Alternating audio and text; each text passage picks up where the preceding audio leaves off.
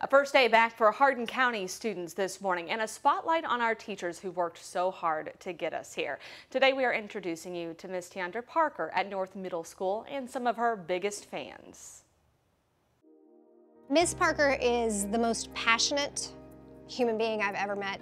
It's a passion for her students learning. It's a passion to make them better people. Mrs. Parker is just full of energy she, maybe the most energetic person I've like ever met. She's somebody that you look forward to seeing every day. Miss Parker loves big, and every student who walks in her classroom knows that she loves them unconditionally. Every day is a new day.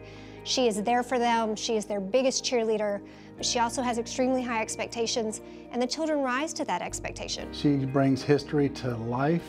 She gives up her breaks to take them to history museums, um, civil rights museums. They've gone to Washington, D.C. So she gives them opportunities that they would nor normally have. And I think that's what makes her extraordinary. She is like focused on you. She's very positive. She wants to hear the great things that are going on in your life. She doesn't know how good she is.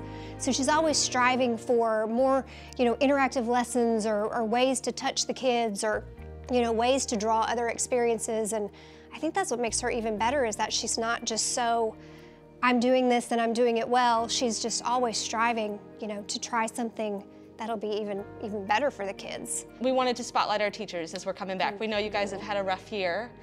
And so a little token of our appreciation is $100 from Target oh, that you have to spend you. on your own for you. Oh, thank you all so much. And just thank know you. that you are very much appreciated. All of the teachers here, but know that you have a lot of support behind you and a lot of people who really care and love what you do for the students and staff here. I'm so appreciative. I appreciate you all so much. And I appreciate my coworkers. And